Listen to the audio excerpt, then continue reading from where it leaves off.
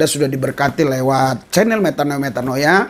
Jangan lupa ya subscribe, uh, like, beri komen, dan juga bagikan kepada semua uh, grup-grup di WhatsApp, di Instagram, di FB, dan seterusnya dan sebagainya supaya Anda memberkati banyak orang. Dan jangan lupa tombol lonceng dipencet. Terima kasih, Tuhan Yesus memberkati.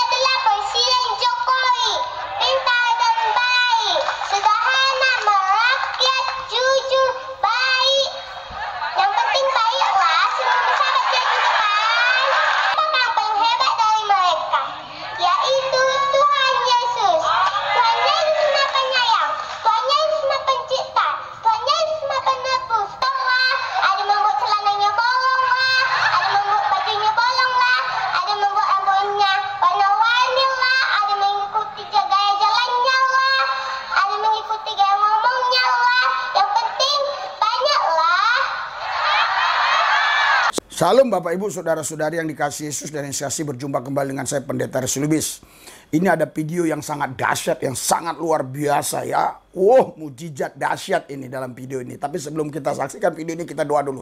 Tuhan Yesus urapi kami supaya kami dapat menangkap apa-apa yang kami dengar pada hari ini dan yang sakit disembuhkan, yang susah dihibur, yang berseteru diperdamaikan, kekurangan diberkati, yang menghadapi jalan buntu Tuhan buka jalan yang letih, letoi, loyo, lesu dilepaskan, dibebaskan.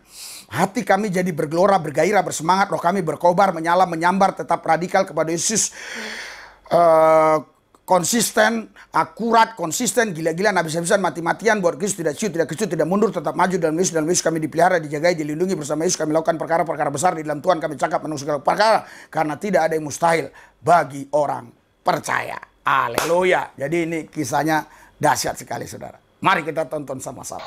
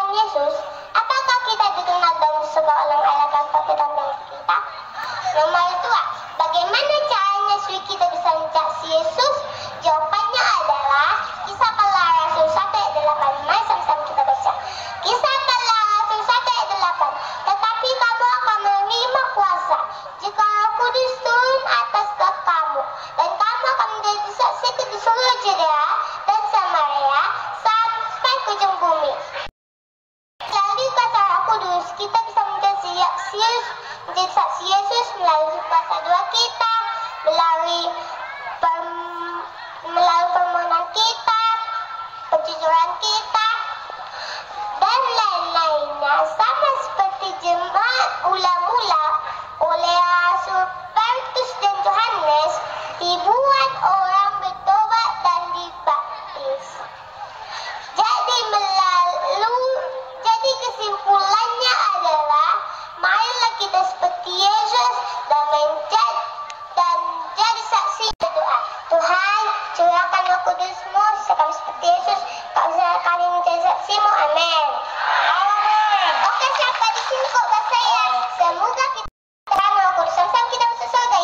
tadi kita sudah tonton sama-sama kan begitu dahsyatnya kan.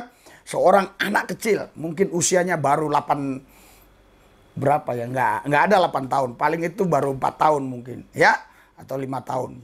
Dia sudah bisa khotbah sedasat seluar sedasat seluar biasa itu. Itu saudara saya yakin betul sekali itu ya. Nggak mungkin lah kalau dia tidak dipimpin Tuhan ya. Itu pasti dipimpin Tuhan makanya dia bisa sampai seperti itu dia khotbah ya. Bahkan dia tahu eh, dia bilang idola. Ini idola idola. Siapa siapa aja namanya itu ya. Idola idola idola. Dikasih foto-fotonya kan. Terakhir kalau nggak salah Joko Widodo gitu ya. Idola karena dia orang baik dan sebagainya dan sebagainya ya. Terus di akhir ya di akhirnya apa dia katakan? Tapi dia bilang inilah yang menciptakan semua idola-idola kalian. Inilah penguasanya. Ya wow luar biasa.